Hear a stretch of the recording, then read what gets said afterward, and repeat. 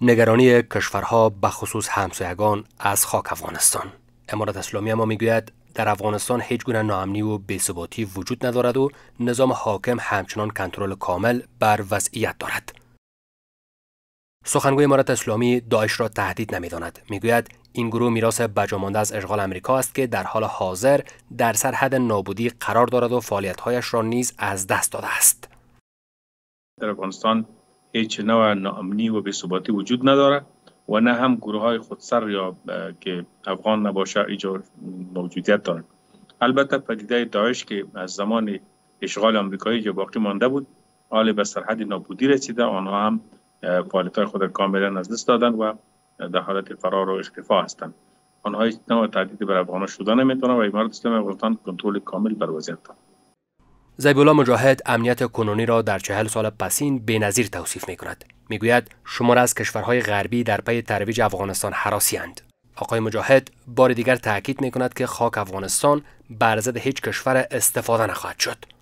متاسفانه بعضی از حلقات به گمان غالب حلقات غربی تشویش مندازن و شاید فعالیت های استخباراتیشان هم چنین باشه که کشورها را از افغانستان میترسانند ما بازم تکرار می‌کنیم که افغانستان برای هیچ کشور تهدیدی نیست.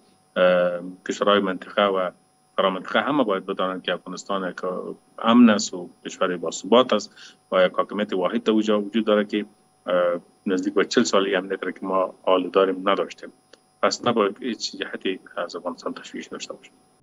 کشورهای همسایه افغانستان همواره در نشستهای بزرگ می‌گویند از بابت فعالیت تروریسم در افغانستان نگرانند.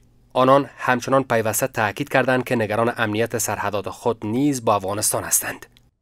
تروریسم با اساس برنامه های استخباراتی منطقه برای حصول منافعشان در افغانستان تحت عنوان داعش، تی پی، القاعده و گروپ های از آسیای میانه رویت و با فعالیت های تروریستی در داخل و بیرون از کشور موجب نگرانی کشورهای منطقه و فرامنطقه گردیده است. زبیولا مجاهد می‌گوید استراتژی امنیتی دولت سرپرست این است که خاک افغانستان بر ضد هیچ کشور تهدید واقع نشود و یکی از پالیسی دیگر امارت اسلامی این است که خواستار جنگ در هیچ کشور و منطقه نیست و بارها بر ثبات و امنیت دوامدار در منطقه تاکید کرده است